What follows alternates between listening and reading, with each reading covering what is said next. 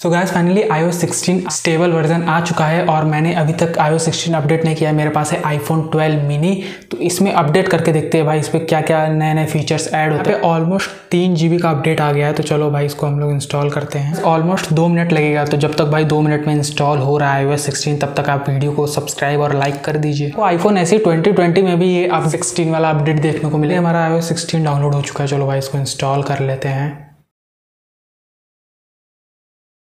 सो guys finally update हो चुका है, लो लिख के आ चुका है।